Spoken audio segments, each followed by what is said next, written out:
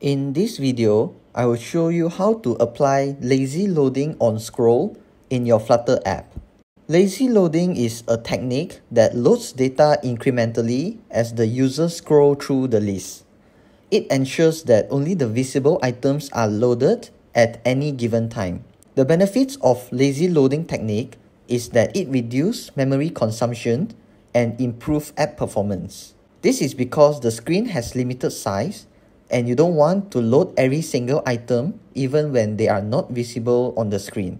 Before we dive into the code, don't forget to hit the subscribe button. For example, in my code, I have a column widget that displays a list of generated strings in a list tile widget. This is how it looks in the simulator. The disadvantage of this approach is that it builds all list tile widgets regardless if it is visible or not in the screen. This approach will heavily burden the app performance. In order to improve the app performance, we have to apply lazy loading technique. So firstly, I will create a function that loads the item.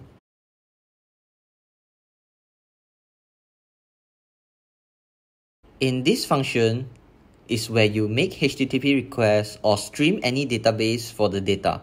So here I will add a future delay function so it looks like it's retrieving data from HTTP requests. For tutorial purposes, I will just manually generate a list of string.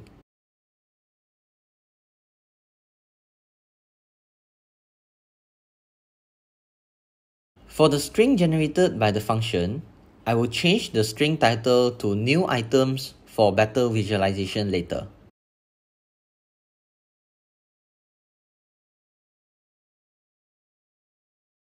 Then, the newly generated list of string will be added back into the main item list.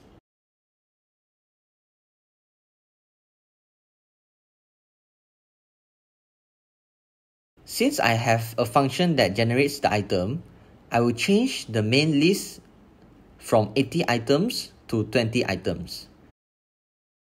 Now we have done with the load item function. Next is where we track user scroll action. To get user scroll position, firstly we have to create a scroll controller.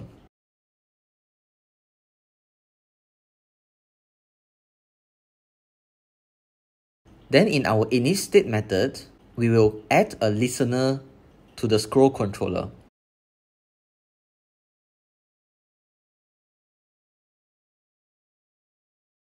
This listener mainly checks if user scroll to the end of the list.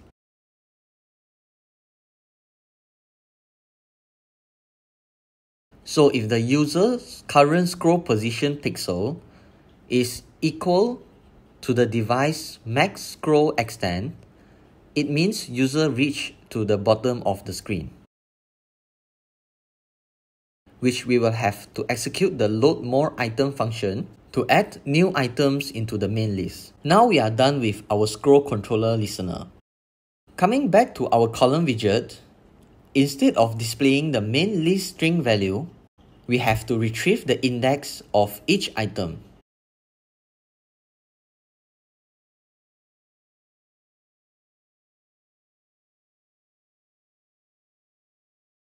This is because with the item index, we can check if it's smaller than items length minus 1. We will then return the list tile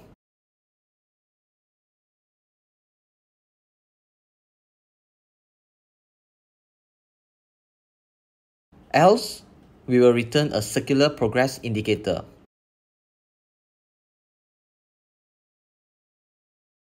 So it looks like the list is loading.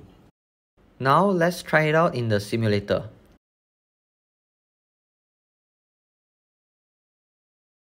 Okay, it seems not working. Let me check the code quickly. Alright, I found the problem which I forget to add the scroll controller into the single child scroll view widget. That's why it's not executing the load more item function. Now let's try again in the simulator.